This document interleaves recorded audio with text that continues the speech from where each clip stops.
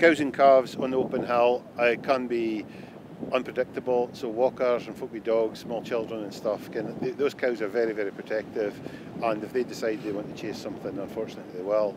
There's one of the hills we have in particular, it's on a big Strava run and we don't put cattle up there at all anymore. And on the other hill, that big one over the back there, we use it for uncalved cows, so they don't have baby calves with them. And the cow's kind of dry cow in her own, seems quite happy and she doesn't seem to bother people too much. But as an industry, it's something we have to be very aware of in that getting public footpaths going through fields are not, you can, it's not conducive to cows and calves and, and safe working for, for these people. But we understand folk have right to access to the, the, the countryside as well. So what we've tried to do is create safe access channels.